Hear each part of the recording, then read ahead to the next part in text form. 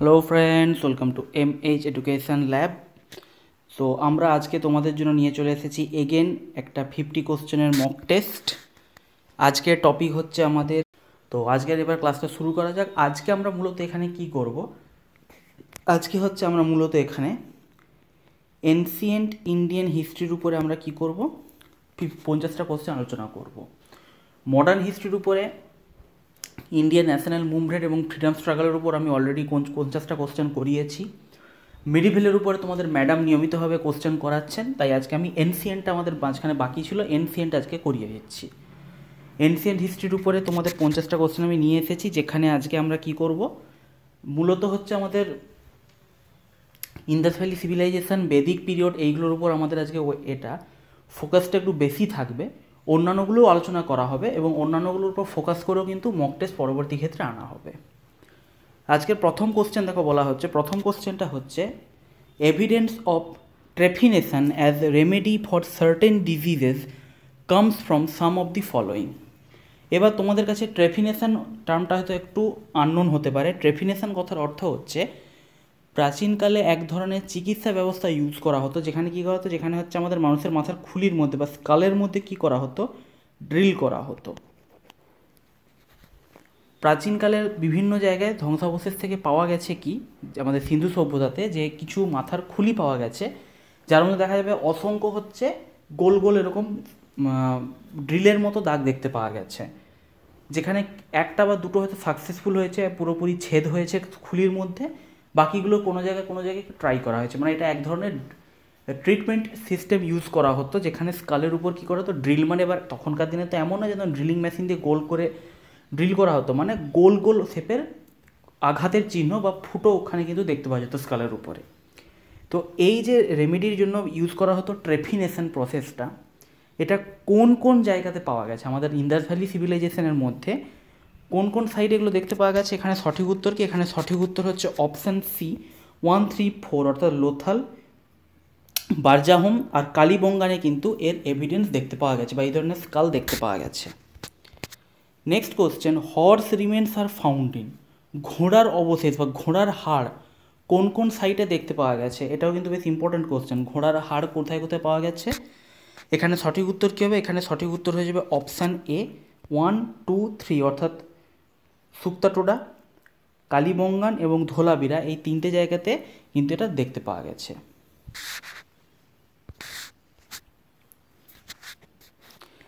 Next তিন নম্বর question beard priest was found in beard priest তোমরা সকলে যেন খুব বিখ্যাত একটা মূর্তি আমাদের ইন্দাস ভ্যালি সিভিলাইজেশনের সেটা অ্যাকচুয়ালি কোথায় পাওয়া গিয়েছিল এটা অ্যাকচুয়ালি পাওয়া গিয়েছিল আমাদের অপশান বি মহেঞ্জোদারোতে মহেঞ্জোদারোতে পাওয়া গিয়েছিল। মহেঞ্জোদারো আবিষ্কার কে করেছিল? মহেঞ্জোদারো আবিষ্কার করেছিলেন সকলের জন্য রাখাল দাস বন্দ্যোপাধ্যায়। উনিশশো বাইশে। এটা কোথায় পাওয়া গিয়েছিল? সেটা হচ্ছে লারকানা, সিন্ধ, পাকিস্তান। পাকিস্তানের মধ্যে সিন্ধে লারকানা ডিস্ট্রিক্ট। লারকানাটা কি? লারকানাটা হচ্ছে ডিস্ট্রিক্ট। লারকানা ডিস্ট্রিক্টে এটা পাওয়া গিয়েছিল।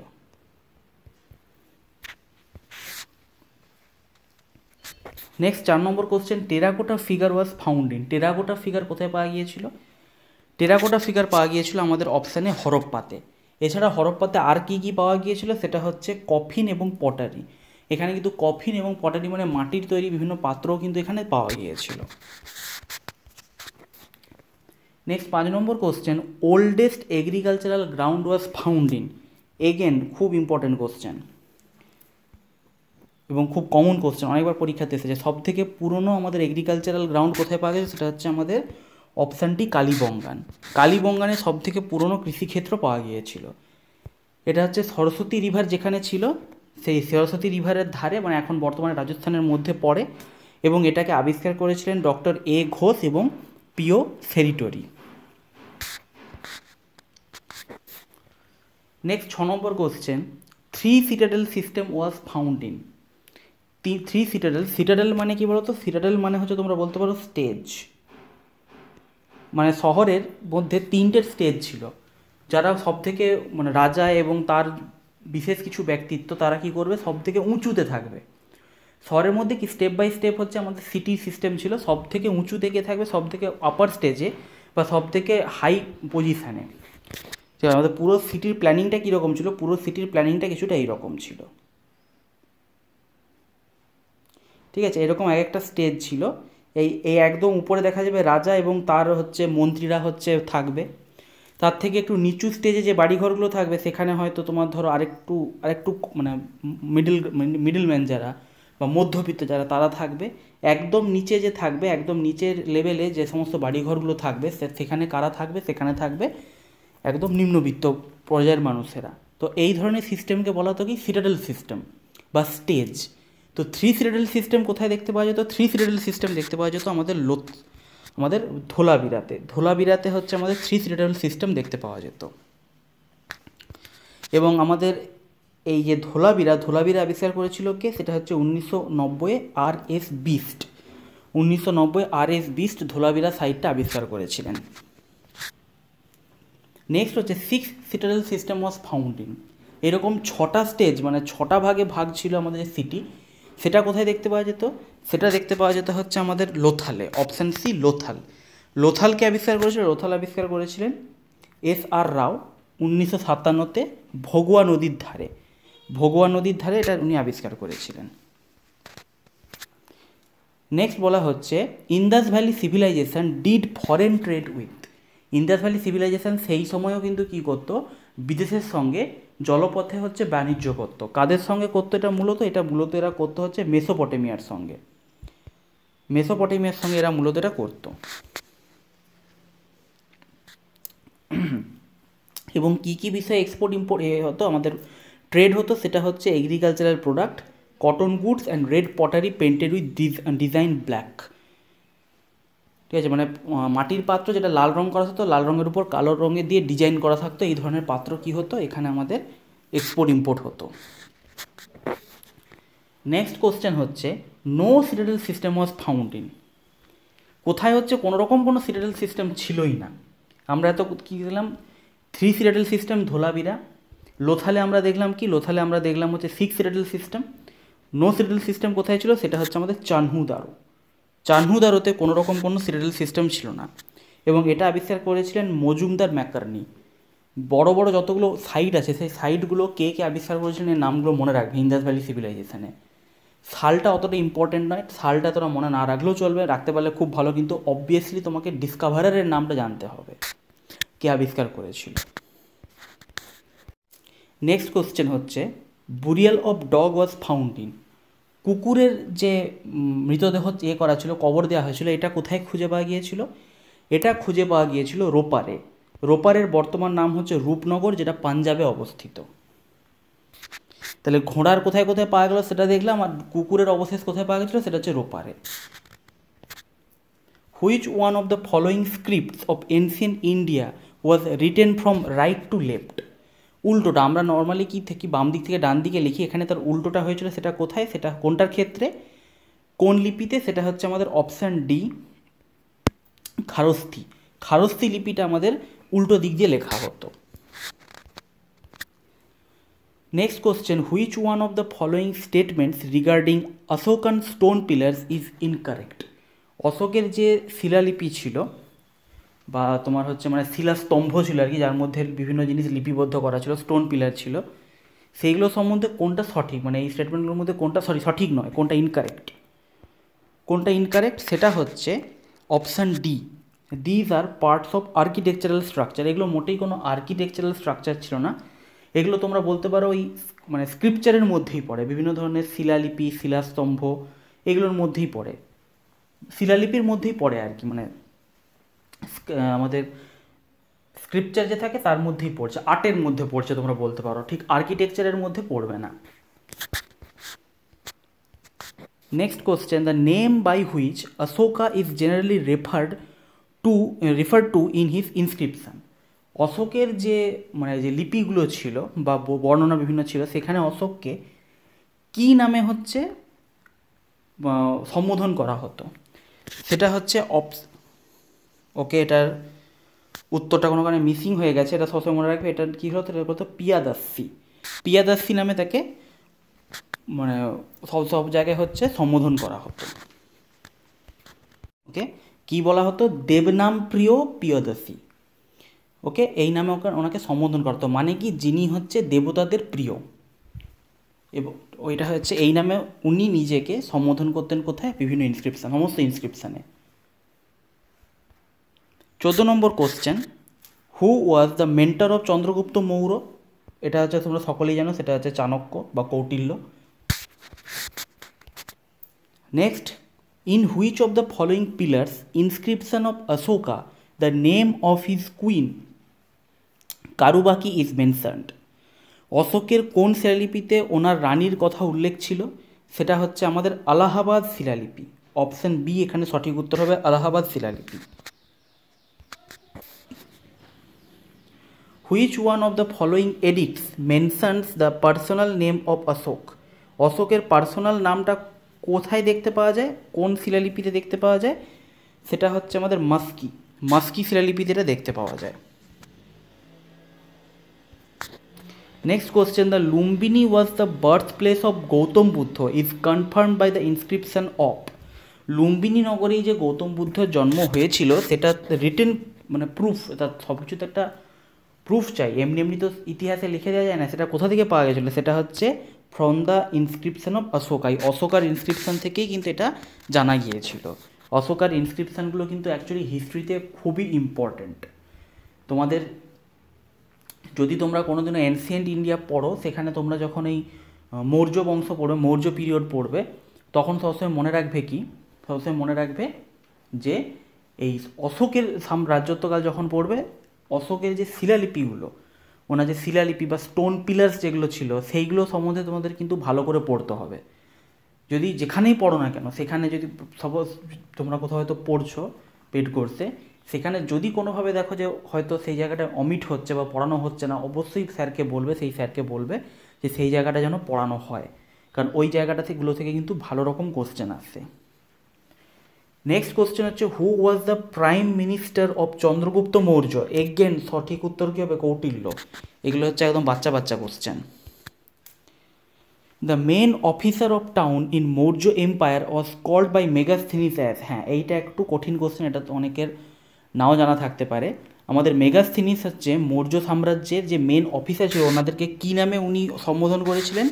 সেটা হচ্ছে অপশান এ অস্টনমি অষ্টনময়ী। অষ্টনময়ী নামে তিনি ওনাদেরকে কী করেছিলেন? সম্বোধন করেছিলেন। কুড়ি নম্বর question which of the following languages is used in the inscription of Ashoka এটা তোমরা সকলে জানো। পালি ভাষায় উনি কী করতেন? ওনার ইনস্ক্রিপশানগুলো লিখতেন। সরি সরি পালি নয়, প্রাকৃত সরি পালি নয়, প্রাকৃত ভাষায় উনি কী করতেন? এই ইনস্ক্রিপশানগুলো লিখতেন। নেক্সট হচ্ছে একটা ম্যাচিং আছে। ম্যাচিংয়ের মধ্যে কী বলতো? সংহিতা এবং উপনিষদ। সংহিতা ঠিক নয়, বেদ আর কি। মানে প্রত্যেকটা বেদের জায়গায় একটা উপনিষদ থাকে, প্রত্যেকটা বেদের সঙ্গে রিলেটেড এক একটা উপনিষদ আছে। আমাদের যে ঋগ্বেদ, যজুর্বেদ, সামবেদ, অথর্ববেদ তো সেইগুলোর প্রত্যেকটার সঙ্গে রিলেটেড একটা করে কি আছে? উপনিষদ আছে। সেইগুলো সম্বন্ধে এখানে ম্যাচিং দিয়েছে। তো এটা আমি উত্তরটা সরাসরি বলে দিচ্ছি। তোমরা ম্যাচিংটা দেখে নিও অপশান থেকে। দেখো, বলে দিচ্ছি। উপনিষ দেখো ঋগ্বেদের উপনিষদগুলো কি কি? ঋগ্বেদের উপনিষদগুলো হচ্ছে আত্রেই আর কৌশিতাকি তারপর হচ্ছে আমাদের ছন্দগয়া এবং কেনা। এটা হচ্ছে কি? এটা হচ্ছে সামবেদের উপনিষদ। কথা, তারপর হচ্ছে আমাদের বৃহদাকরণ্য ঈশা এগুলো সব কি? এগুলো হচ্ছে আমাদের যজুর্বেদের অন্তর্গত অন্তর্গত। মুন্ডক, প্রশ্ন এবং মান্ডুকায় উপনিষদ হচ্ছে কাজটা সেটা হচ্ছে অথর্ববেদের সঙ্গে যুক্ত। তো এই নামগুলো তোমরা মনে রাখবে এবং এটা থেকে তোমরা কী করতে পারবে? অপশানগুলো ম্যাচ করে দেখে নিতে পারবে যে কোনটার সঠিক উত্তর কোনটা হচ্ছে। নেক্সট হচ্ছে অ্যাসারশন রিজন টাইপের একটা কোশ্চেন আছে। দেখা যাক অ্যাসারশনটা কী বলা হয়েছে যে Vedas are known as Shruti.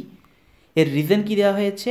Vedas have been passed on from one generation to another through verbal transmission তাহলে এখানে সঠিক উত্তর কী হবে? এখানে সঠিক উত্তর হবে option A both A and true R A R true and R is the correct explanation of A স্বাভাবিক ব্যাপার। কারণ বলা হচ্ছে the Vedas are said to be passed on from one generation to another generation through verbal transmission and are therefore, also known as shruti shruti মানে হচ্ছে এটা শুনে শুনে মনে রাখা হয়। এছাড়া অন্যান্য যে শ্রুতিগুলো আছে, সেগুলো কি? সেগুলো হচ্ছে ব্রাহ্মণ, আরণ্যক উপনিষদ। বেদের সঙ্গে সঙ্গে ব্রাহ্মণ, আরণ্যক উপনিষদ, এ সবই কি? এগুলো সবই হচ্ছে shruti. Next question arrange this divine powers of Rigvedic period in order of their importance ঋগ্বেদে হচ্ছে বিভিন্ন শক্তি সম্বন্ধে বা বিভিন্ন দেবতা সম্বন্ধে, এক একটা শক্তির এক একজন দেবতা রাখা হয়েছিল ঋগ্বেদে, উল্লেখ আছে। তো তাদের ইম্পর্টেন্স অনুযায়ী আমাদের কি বলেছে? ক্রোনোলজিক্যাল অর্ডারে সাজাতে বলেছে। তো এখানে এই চারটা হচ্ছে মেন ইম্পর্ট্যান্ট চারটা আমি তো সম্বন্ধে বলে দিচ্ছি। বাকি যতগুলো আছে আমি তোমাদের বলে দিচ্ছি এক একবার করে। তোমরা জেনে রাখো জিনিসটা তোমাদের কাজে লাগবে। তবে এই চারটার সম্বন্ধে তোমাদের অবশ্যই জানতে হবে। দেখো কারেক্ট সিকোয়েন্স হচ্ছে কি? ইন্দ্র, অগ্নি, বরুণ এবং সোম। ইন্দ্রের সব থেকে বেশি ইন্দ্রকে সব থেকে বেশি সংখ্যায় হচ্ছে কি করা হয়েছে? আমাদের যে শ্লোক আছে বেদের, তার সব থেকে বেশি শ্লোক ঋগ্বেদে ইন্দ্রকে ডেডিকেট করা হয়েছে। তারপর আসছে অগ্নি, তারপর আসছে বরুণ, তারপর আসছে সোমদেব। দেখো, কি বলা হচ্ছে? ইন্দ্র সম্বন্ধে বলা হচ্ছে, দেখো, যে Indra was the most important divinity and was the lord of war উনি যুদ্ধের দেবতা ছিলেন। আড়াইশোটা শ্লোক ওনাকে ডেডিকেট ডেডিকেট বা ডিভোট করা হয়েছিল। And highest which is highest for any of gods যেটা বললাম যে সবথেকে বেশি সংখ্যায় শ্লোক ওনাকে উদ্দেশ্য করে লেখা হয়েছিল বা ওনাকে ডিভোট করা হয়েছিল। ওনার অন্যান্য নামগুলো কি? ওনার নামগুলো হচ্ছে কারওয়ারিয়ার মানে হচ্ছে Rathestha, winner, Jitendra or Soma drinker বা সোমাপা। অগ্নি, দেখো কি বলা হচ্ছে অগ্নি বলা হচ্ছে god of fire and the acceptor of sacrifices Varuna হচ্ছে, বুঝতে পারছ বরুণ হচ্ছে god of sky water and all the celestial ocean as well as the god of law called Rita and of the Patal Lok বরুণকে কী বলা আছে? তিনি পাতাল লোকের দেবতা ছিলেন ন্যায়ের দেবতা ছিলেন ল আর কি, আইন, আইনের দেবতা ছিলেন, এইরকম ঋগ্বেদে বলা হয়েছে। এবং তার সঙ্গে সঙ্গে উনি হচ্ছে বাতাস মানে আকাশ, জল এবং সমস্ত যে আমাদের সমুদ্র আছে, সমস্ত কিছু দেবতা ছিলেন বরুণ। সোমদেবকে কী বলা হচ্ছে? Soma was prepared by extracting juice from the stalks of certain plant and the Soma was the god of the plants সোমকে কী বলা হচ্ছে? সোমকে বলা হচ্ছে আমাদের উদ্ভিদের দেবতা। বাকিগুলো সম্বন্ধে একটু দেখে নাও। প্রথমে তারপর এসছে কি? তারপর আসছে বিশেষ বেদাস উনি কী ছিলেন? উনি হচ্ছে there are bear various Vedic gods taken together as a whole headed by Indra ইন্দ্রর আন্ডারে যে সমস্ত বিভিন্ন দেবতারা কাজ করতেন, তাদেরকে একত্রে কী বলা হতো? তাদেরকে একত্রে বলা হতো বিশ্বদেবাস। কি? বিশ্বদেবাস। জম জম তো বুঝতেই পারছ কি? জম হচ্ছে is consider to be the first mortal who died and এসপায়ার্ড the way to the celestial অ্যাডব and in virtue of presence he became the ruler of and রুপার অফ দ্য ডিপার্টেড আছে এখানে ল্যাঙ্গুয়েজগুলো খুব কঠিন আছে। জম হচ্ছে, বলা হচ্ছে কি জমকে ধরা হয় মানে ঋগ্বেদে বলা হয়েছে জম ছিলেন প্রথম মর্টাল মানে মরণশীল ব্যক্তি যিনি কী করেছিলেন? যিনি মারার যাবার পরে আমাদের যে মানে কি বলব, স্বর্গ যে, স্বর্গে উনি গিয়েছিলেন এবং তারপর থেকে উনি কি হয়েছিলেন? উনি হচ্ছে মৃত্যু দেবতা হয়েছিলেন। সূর্য তোমরা বুঝতে পারছ সান গড এবং ওনাকে নামে আটটা শ্লোক উৎসর্গ করা হয়েছে। এছাড়া আছে সাবিত্রী। সাবিত্রী হচ্ছে কি? সাবিত্রী হচ্ছে আমাদের যে গায়ত্রী মন্ত্র থাকে গায়ত্রী মন্ত্র হচ্ছে সাবিত্রীকে ডেডিকেট করা হয়েছে। নেক্সট আছে পুসান। পুসানকে বলে the guardian of the jungle path and road Vishnu. Vishnu হচ্ছে minor Vishnu is a minor god compare god compare in comparatively minor god in Rigveda. বিষ্ণুকে হচ্ছে মানে বিষ্ণুকে যেটা আমরা সব থেকে হায়ার ডেইটি ভাবি, ঋগ্বেদে কিন্তু বিষ্ণুকে অতটা ইম্পর্টেন্স দেওয়া হয়নি। সেটার জন্য বলা হয়েছে comparatively minor god in Rigveda. Rigveda অনুযায়ী কিন্তু বিষ্ণুকে কম্পারেটিভলি মাইনর গড ধরা হয়েছে। বায়ু হচ্ছে উইন্ড গড, দায়ুস হচ্ছে father of father of heaven, Aditi হচ্ছে গডেস অফ ইটার্নিটি, তারপর হচ্ছে মারুত হচ্ছে স্ট্রং স্পিরিট, অশ্বিন হচ্ছে ডিভাইন ডক্টরস, আর আমাদের রুস হচ্ছে কি three semi divine deities of Rigveda. এইগুলো নামগুলো মনে রাখবে পারলে, লাস্টের এই, লাস্টের এইগুলো এতটা ইম্পর্টেন্ট নয়, এইগুলো না মনে রাখলেও চলবে। তো তার আগে যেগুলো বললাম, এইগুলো সম্বন্ধে একটু, এই চারটে তো অবশ্যই তোমাকে মনে রাখতে হবে, আর এইগুলোও পারলে একটু মনে রাখবে নেক্সট বলা হচ্ছে in Vedic period main crops were আমাদের বৈদিক যুগে মূল শস্য কী কী ছিল? মূল শস্য ছিল কি? সেটা হচ্ছে অপশান সি বার্লি এবং রাইস দুটোই আমাদের কী ছিল? মূল শস্যের মধ্যে পড়তো।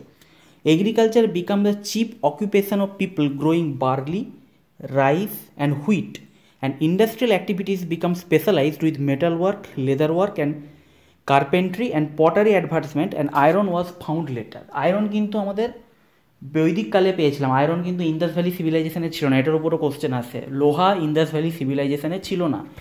যে কারণে ইন্দাস ভ্যালি সিভিলাইজেশনে আমাদের ব্ল্যাক স্মিথ ছিল না।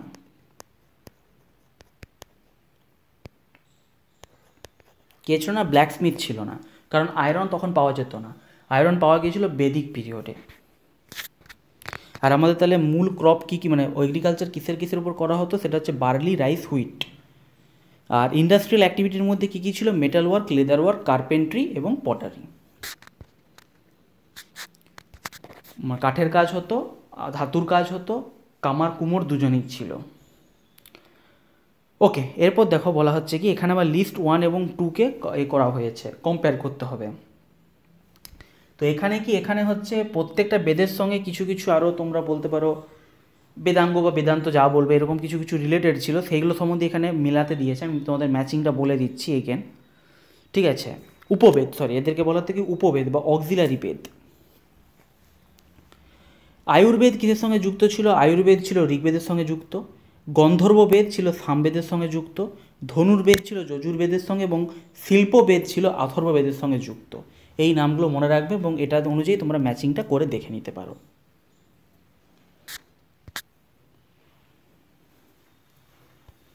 নেক্সট হচ্ছে which Veda has the collection of songs এটা তোমরা সবসময় মনে রাখবে সামবেদ সামবেদে কী থাকে? গানের কালেকশান ছিল। যে কারণে সামবেদের সঙ্গে যে বেদাঙ্গ উপবেদ আছে, সেটাকে কী বলা হচ্ছে দেখো?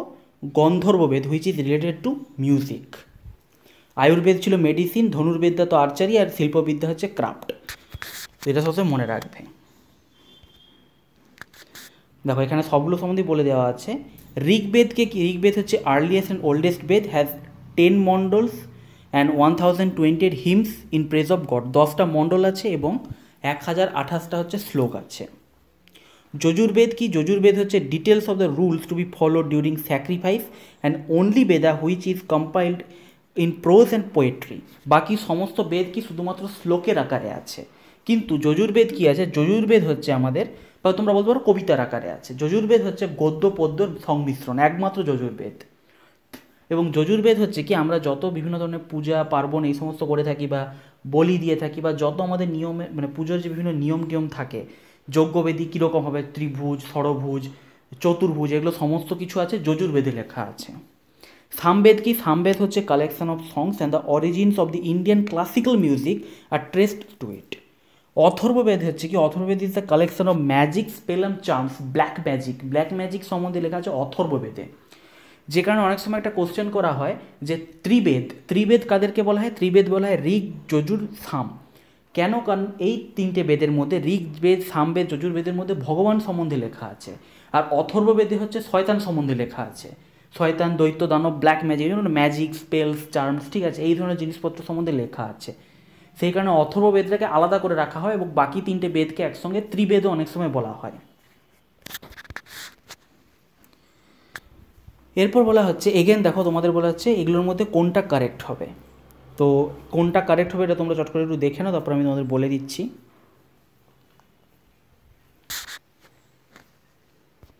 সঠিক উত্তর কী হবে? সঠিক উত্তর হবে option B one two and three স্টেটমেন্টগুলো correct চার নম্বর স্টেটমেন্ট কেন ভুল বলা হচ্ছে? উপবেদ অফ সামবেদ ইজ আধারু কি? দাঁড়াও। বাবারে, কী লিখেছে? আমি তো নিজেই উচ্চারণ করতে পারছি না এটা। আধ ওয়ারু এটা আমার জানা নেই কী জিনিস। তো উপ, সামবেদের উপবেদ কি? তোমাদের এক্ষুনি বললাম, গন্ধর্ববেদ। সেই জন্য এটা সব ভুল হয়ে যাচ্ছে। এক্ষুনি তোমাদের বললাম, সামবেদের উপবেদটা কি? সেটা হচ্ছে গন্ধর্ববেদ।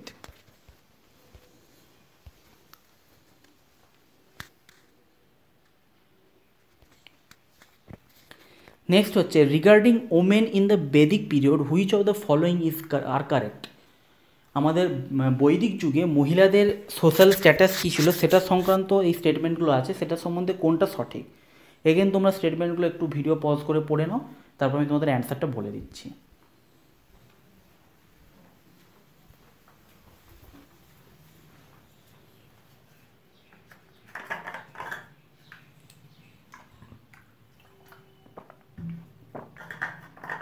ওকে সঠিক উত্তর কী হবে? সঠিক উত্তর হবে option D all of this মানে কি বলা হচ্ছে? They were allowed to study they held good positions they did not practice purdah system and they attended sabha and samiti অর্থাৎ মহিলাদেরকে পুরোপুরি ফ্রিডম দেওয়া ছিল বেদিক পিরিয়ডে ঠিক আছে?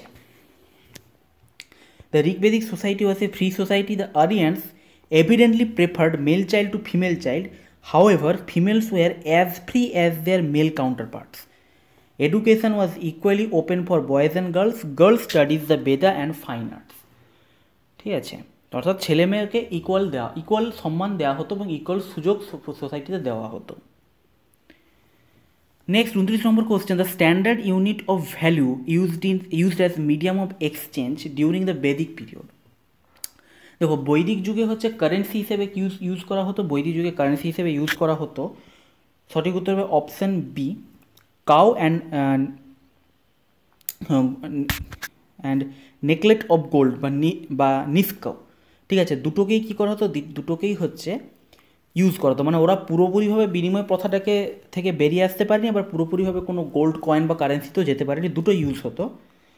দেখো বলা আছে the Vedic period shows that the Vedic people use cows as a medium of exchange and later started the use of nishka বা নিক্সা যা বলবে তোমরা নিক্সা যেটাই বললাম যে তোমাদের পুরোপুরিভাবে কোনোটা থেকে বেরোতে পারেনি, দুটোই ওরা ইউজ করতো। পরবর্তী ক্ষেত্রে লেটার বেদিক পিরিয়ডে গিয়ে কী হয়েছিল? বিনিময় প্রথাটা প্রায় অ্যাবলিশ হয়ে গিয়েছিল।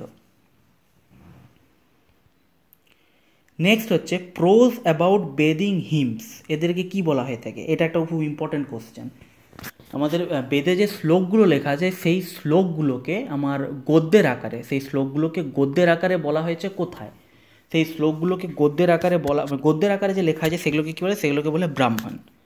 দেখো, ব্রাহ্মণগুলো কি? ব্রাহ্মণ হচ্ছে prose about Vedic hymns rituals and philosophies Aranyaka কি? আরণ্যক হচ্ছে deals with mysticism rites and rituals আর উপনিষদ কী কী? উপনিষদ হচ্ছে philosophical text dealing with soul mysteries of nature তাহলে বুঝতে পারলে কোনটা কি? ব্রাহ্মণ, আরণ্যক আর আমাদের উপনিষদ কোনটা কি? আশা করি তোমরা বুঝতে পেরেছ।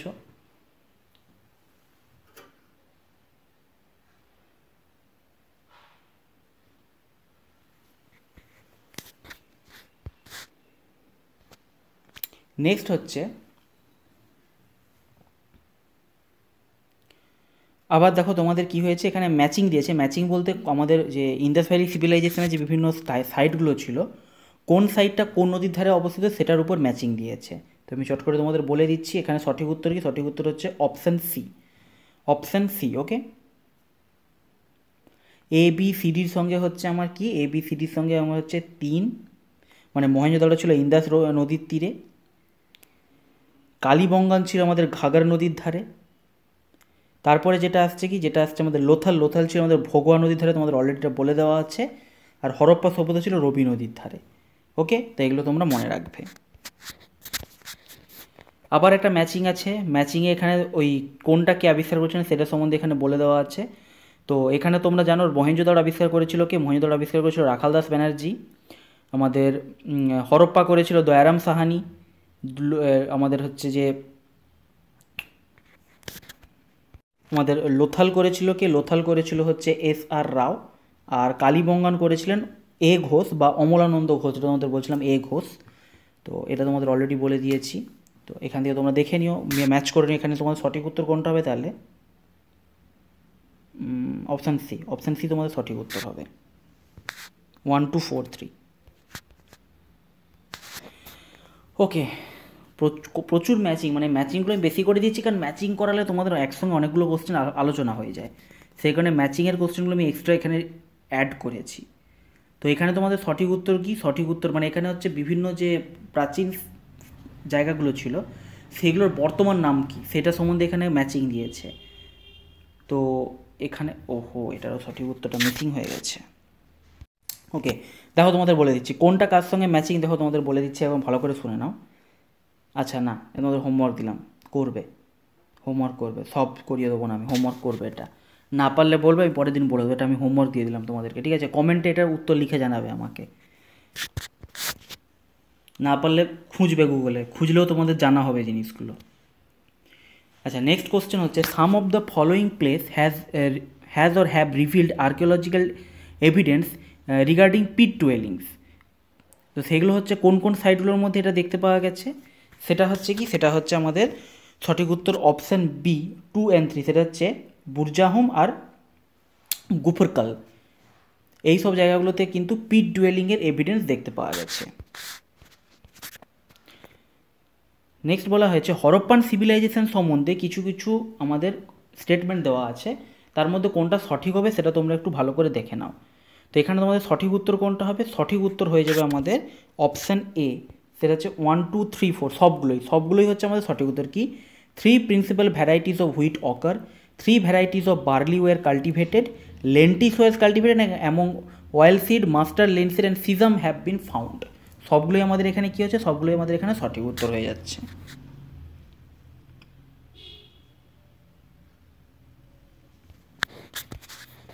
Next bronze dancing girl found in which site bronze dancing girl কোথায় দেখতে পাওয়া যায়? কোন সাইডে দেখতে পাওয়া যায়? সেটা হচ্ছে আমাদের মহেঞ্জোদাড়ো মহেঞ্জোদাড়োতে আমাদের ব্রোঞ্জের তৈরি নৃত্য মানে নৃত্যশীল মহিলার মূর্তি দেখতে পাওয়া যায়। ফায়ার অল্টার মানে আগুনের বেদি, কোন সাইডে দেখতে পাওয়া যায়? ফায়ার অল্টার দেখতে পাওয়া যায়, সেটা হচ্ছে আমাদের অপশান সি লোথাল লোথালে হচ্ছে আমাদের আগুনের বেদি দেখতে পাওয়া যায়। ডাবল বুরিয়াল কোথায় দেখতে পাওয়া যায়? ডাবল বুরিয়াল দেখতে পাওয়া যায় আমাদের লোথালে। ডাবল বুরিয়ালও দেখতে সরি হ্যাঁ লোথাল। ডাবল বুরিয়ালও আমাদের লোথালে দেখতে পাওয়া যায়। তাহলে ডাবল বুরিয়াল এবং আমাদের হচ্ছে ফায়ার অল্টার দুটোই কোথায় দেখতে পাওয়া যায়? লোথালে।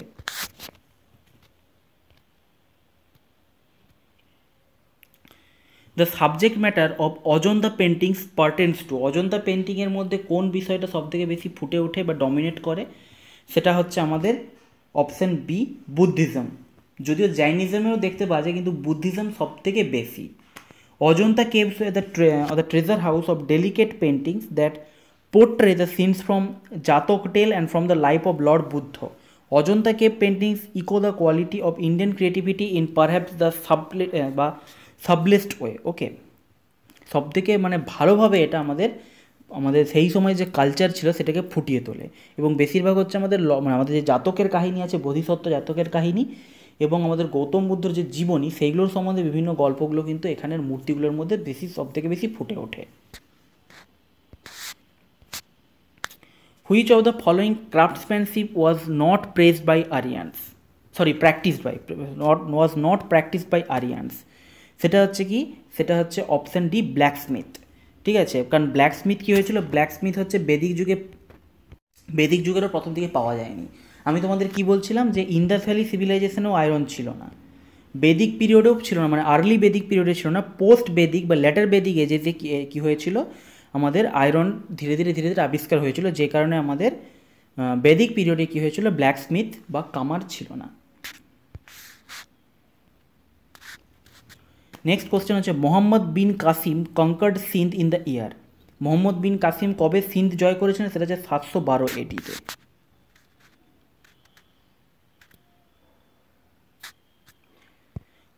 Qasim's conquest of Sindh and Punjab led the foundation of Islamic rule in the Indian subcontinent next the word Satyameva Jayate is the state emblem of India is taken from তো এটা তোমরা সকলেই জানো, সেটা হচ্ছে আমাদের মুন্ডক উপনিষদ। মুন্ডক উপনিষদ থেকে এটা নেওয়া হয়েছে। মুন্ডক উপনিষদ কার সঙ্গে যুক্ত? অথর্ববেদের সঙ্গে যুক্ত।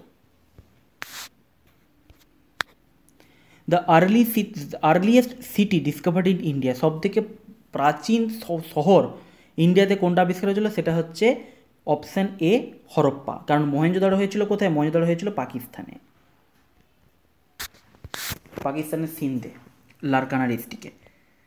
The ruins first Harappa in first discovered to by Charles Charles in uh, in of various of of Baluchistan Afghanistan and Punjab in Punjab fifty six এটা হচ্ছে তোমার খুব মানে মানে কি বলব খুব নাটকীয়ভাবে এটা বেরিয়ে এসেছিল যে general Alexander Cunningham later director general of archaeological survey of northern India visited Harappa where the British English engineer John and William Brunton were laying the East India Railway Company line connecting the cities of Karachi and Lahore. তো ওই rail line পাতার জন্য মাটি কাটতে গিয়ে কিন্তু প্রথম আমাদের মহেঞ্জোদারো বেরিয়ে এসেছিল। সরি হরপ্পা। হরপ্পা সভ্যতাটা প্রথম বেরিয়ে এসেছিল, নিদর্শন প্রথম পাওয়া গিয়েছিল। এবং মজার বিষয় হচ্ছে, আমাদের হরপ্পা মহেঞ্জোদারো সভ্যতা প্রায় প্রায় চার হাজার বছরের পুরনো।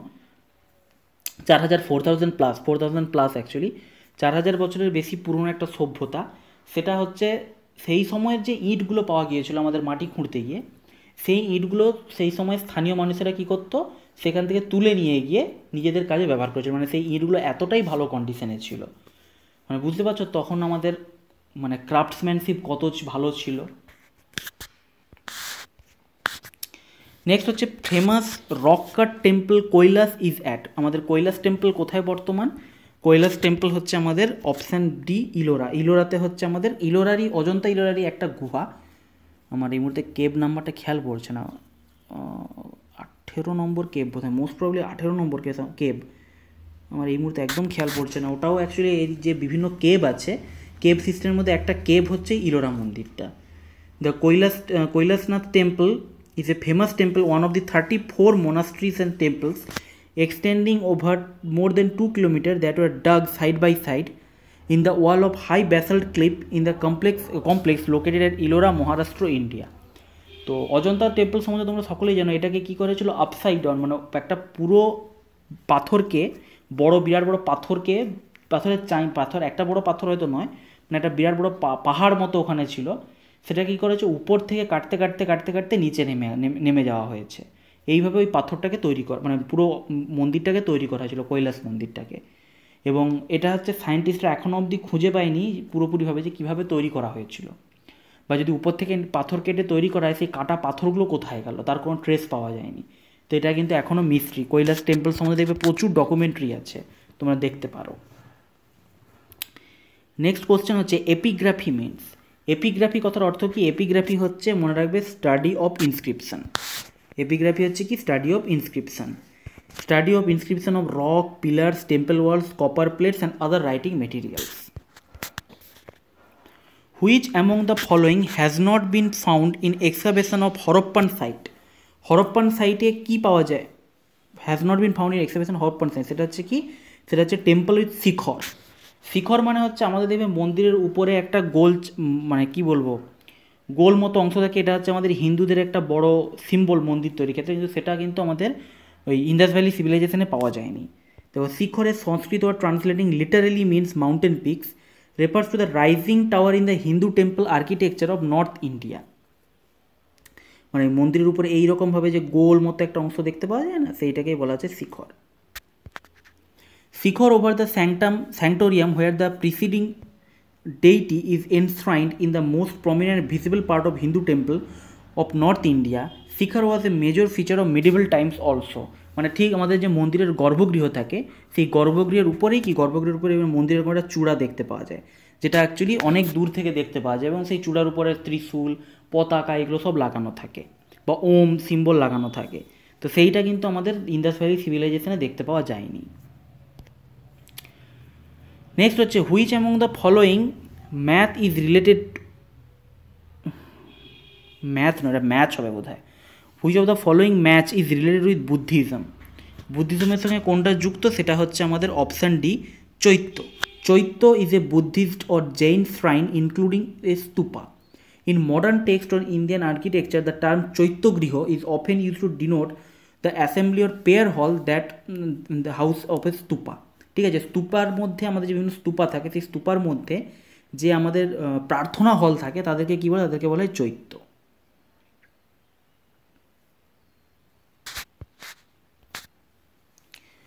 Where has the world's largest monolithic statue of Buddha has been installed এটা একটু হিস্ট্রির কোশ্চেন নয়, এটা একটু জিকের কোশ্চেন হয়ে গেছে, তো যাই হোক, জেনে রাখো, সেটা হচ্ছে আমাদের অপশান এ বামিয়ান বামিয়ানে কী হয়েছে? The Buddhas of Bamiyan were two 6th century monumental statues of standing Buddha carved into the side of a cliff in the Bamiyan Valley of Hajarat region in the central Afghanistan এটা তোমরা নেটে দেখতে পারো ছবিটা। বেশ সুন্দর দেখতে। একটা পাহাড়ের পুরো সাইডে মানে পাহাড়ের একটা সাইডকে কেটে বুদ্ধ মূর্তিটাকে তৈরি করা হয়েছে। নেক্সট হচ্ছে the title Indian Napoleon has been attach to এটা সকলেই যেন সমুদ্রগুপ্তকে বলা হতো ইন্ডিয়ান নেপোলিয়ান যিনি তিনশো পঁয়ত্রিশ থেকে তিনশো পঁচাত্তর এডি অবধি রাজত্ব করেছিলেন। Historian A V Smith called him so because his great military conquest known from the Prayag Prayag Prashasti written by his counter and sorry courtier and poet Harisena Harisena যে প্রয়াগ প্রশস্তি লিখেছিলেন, সেখান থেকে তার হচ্ছে যে মানে যুদ্ধ জয় সম্বন্ধে যে গল্প শোনা যায়, সেটা থেকে এভি স্মিথ ওনাকে কি করেছিলেন? নেপোলিয়নের সঙ্গে তুলনা করে ওনাকে ভারতের নেপোলিয়ন বলেছিলেন। নেক্সট আজকে last question the Ajivika were Ajivika কাদেরকে বলা হয়? আজীবক বলা হচ্ছে the sect contemporary to Buddha. Ajivika or living living মানে সংস্কৃতে যার অর্থার অর্থ হচ্ছে living was a system of ancient Indian philosophy and an ascetic movement of Mahajanapada period in the Indian subcontinent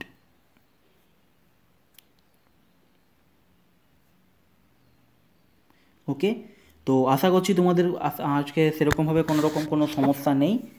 এই জিনিসটা আজকে তোমাদের যে পঞ্চাশটা কোশ্চেন করা হলো, পঞ্চাশটা কোশ্চেনের মধ্যে তোমাদের আবারও বললাম যে পুরো এনসিয়েন্টটাই কভার করা হয়েছে, কিন্তু তার মধ্যে আমাদের ইন্দাস ভ্যালি সিভিলাইজেশন এবং বেদিক পিরিয়ডটাকে একটু বেশি গুরুত্ব দেওয়া হয়েছে। পরবর্তী ক্ষেত্রে যে সেটগুলো নিয়ে আসা হবে, সেখানে কি করা হবে, সেখানে কিন্তু আমাদের অন্যান্য জিনিসগুলোকে, অন্যান্য যে চ্যাপ্টারগুলো আছে, সেগুলোর উপরও জোর দেওয়া হবে। নাহলে কি? দেখো তোমাদের মৌর্য যুগ, গুপ্ত যুগ, সবই আমাদের এখানে টাচ করা হয়েছে ওকে তো আজকে এখানেই শেষ করলাম। আশা করছি তোমাদের ভিডিওটা ভালো লেগেছে কি, আর প্লিজ ফ্রেন্ডস শেয়ার করো। তোমাদের কিন্তু শেয়ারের এখনও কমে যাচ্ছে আস্তে আস্তে, ঠিক আছে? তোমরা কিন্তু শেয়ার করছ না।